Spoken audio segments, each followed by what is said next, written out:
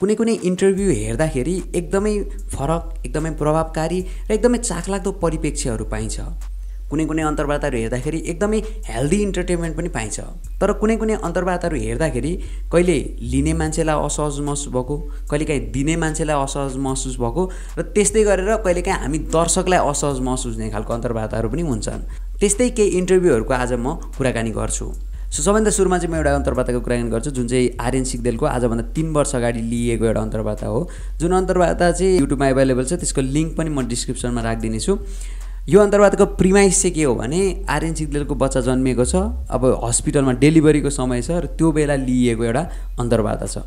अब यो अन्तर्वार्ताको कुराकानी गर्नुभन्दा सुरुमा चाहिँ यसो सम्झिँदा पनि हामीलाई चाहिँ के हो भने एउटा दर्शकलाई चाहिँ कलाकारको अथवा कुनै पनि चर्चित व्यक्तिहरूको जति व्यक्तिगत जिन्दगीमा जान सक्यो त्यति हामीलाई रमाइलो फिल हुने। अनि एउटा पत्रकारलाई पनि त्यही कुरा देखाउन मन लाग्ने र कहिलेकाहीँ चाहिँ कलाकारले पनि त्यही कुरा चाहिदिने। कलाकारले पनि कहिलेकाहीँ चाहिँ आफ्नो व्यक्तिगत जीवनको सानसानो कुराहरू देखाएर पनि त्यसलाई प्रमोसनल कुरामा जोड दिने अथवा प्रमोसन गर्नको लागि प्रयोग गरिदिने पनि गरेको देखिन्छ। सो यो तिन पक्षीय कुराहरू छ होइन?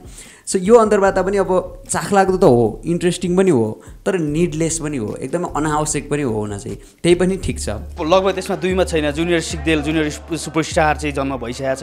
भविष्यको दिनमा पक्कै पनि यो अन्तर्वार्ता हेरिरहँदा चाहिँ के छ भने आर्यन सिक्देललाई जुन प्रश्नहरू सोधिन्छ त्यस त्यो हेर्दाखेरि त्यो भिजिबल्ली एउटा इन्टरभ्यू त्यो स्क्रिनमै देखिन्छ कि त्यो अक्वर्ड महसुस गरेको क्या। सो अब अर्को एउटा अन्तर्वार्ता कुराकानी गर्छु। यो चाहिँ सुरक्षा पन्तको अन्तर्वार्ता हो। उहाँको चाहिँ एउटा गीत रिलिज भएको थियो र त्यो गीत रिलिज पछाडि चाहिँ त्यो प्रमोसनल एउटा इन्टरभ्यूको रूपमा यो दिएको त्यो देखिन्छ। बिहे गर्नु गर्नु लागेन? लाग्छ है किन रोकिरहेछ?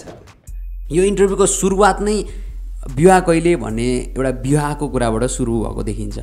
त्यो पछाडि यो अन्तर्वार्ताहरू चलिरहँदाखेरि चाहिँ एकदम असहज प्रकारको एउटा टेन्सन चाहिँ यो अन्तर्वार्ता भरि नै देखिन्छ। सो यो इन्टरभ्यू हेरिरहँदाखेरि चाहिँ इन्टरभ्यू दिने मान्छेलाई सुरक्षा पन्तलाई त्यस्तै गरेर मानव सुवेदीलाई अर्को एकजना व्यक्तिलाई सबैलाई चाहिँ एउटा असहज महसुस भएको अथवा त्यो भिजिबली देखाउन नचाहे पनि उनीहरूले ठिकै छ भनेर भने पनि त्यो एउटा हेर्दा हेर्दै त्यो एउटा टेन्सन अक्वर्ड टेन्सन चाहिँ देखिन्छ। होस्टले बारम्बार एउटा नभएको सम्बन्ध स्थापित गर्न खोजेको हो कि होइन? दुईजना बिच सुरक्षा बन्द र मानव सुविधा बिचको त्यो एउटा प्रेम छ भन्ने खालको स्थापित गर्न खोजेको हो कि? अथवा त्यो प्रेमलाई चाहिँ यसरी फोकसमा राखेको कि बेर बेरमै त्यो अन्तर्वाद दिने सुरक्षा बन्दले पनि एकचोटि यो मेरो एकदमै नितान्त व्यक्तिगत कुरा हो भन्नसम्म पुगेको देखिन्छ त्यो अन्तर्वाद हेरिरहँदा नितान्त प्राइभेट कुरा भएको हुनाले मैले एक्सप्रेस गर्न चाहिनँ होइन? तर जीवनमा प्रेम नपरेको होइन। म प्रेममा पनि छु होइन?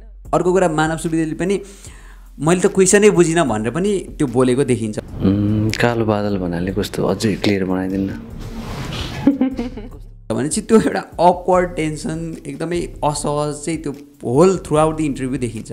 सो अर्को एउटा इन्टरभ्यू चाहिँ समीक्षा अधिकारीको एउटा इन्टरभ्यू जुन चाहिँ रजतपट अङ्कल प्रकाश सुवेदी लिएको एउटा अन्तर्वार्ता छ। यो अन्तर्वार्ता पनि केही प्रश्नहरू चाहिँ एकदमै असहज त्यही भन्नाले अब अन्तर्वार्ता चलिरहेको छ त्यसमा चाहिँ अब एउटा पारिश्रमिकको कुराहरू आउँछ। जुन स्वाभाविक हो एउटा कलाकारले कति पारिश्रमिक पाउँछ भनेर सोध्नु स्वाभाविक हो।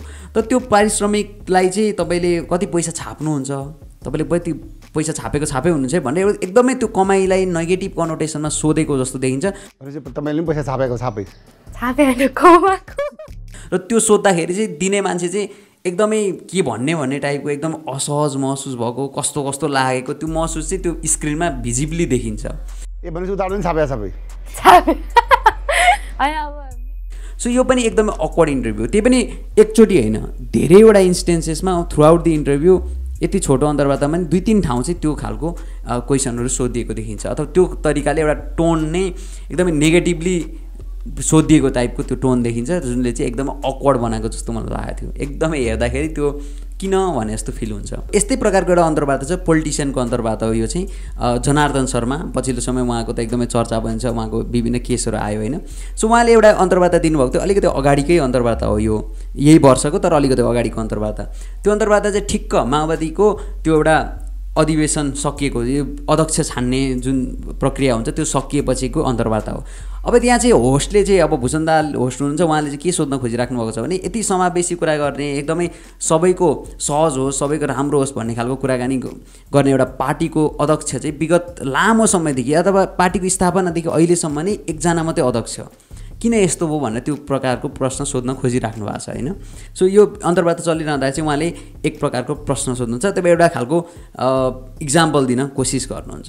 भजन मण्डलीहरूले मात्रै समर्थन गरेको आधारमा त्यसलाई चाहिँ नि पार्टीका कार्यकर्ताको समर्थन हो भनेर यति भनिसकेपछि चाहिँ जनार्दन समाजलाई त्यो रिस उठेको भिजिबली देखिन्छ कि उहाँले एकदमै त्यो प्रश्नलाई चाहिँ खारिजै गर्नुपर्छ र त्यो एउटा अक्वर्डनेस चाहिँ त्यो देखिन्छ क्या।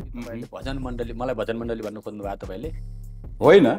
अथवा म जस्तै अरू कार्यकर्तालाई भन्नु खोज्नु भएको हो यो कुरा बिल्कुल यो कुरा शब्द तपाईँको मिलेन भजन मण्डलीको कुरा होइन अन्तर्वार्ता लिँदै गर्दा होस्टसँगको उहाँको एउटा रिस चाहिँ त्यहाँ त्यो झल्किएको देखिएको छ क्या। सो त्यो एउटा प्रकारको अन्तर्वार्ता एकदमै अक्वर्ड इन्टरभ्यू यो पनि एउटा हो।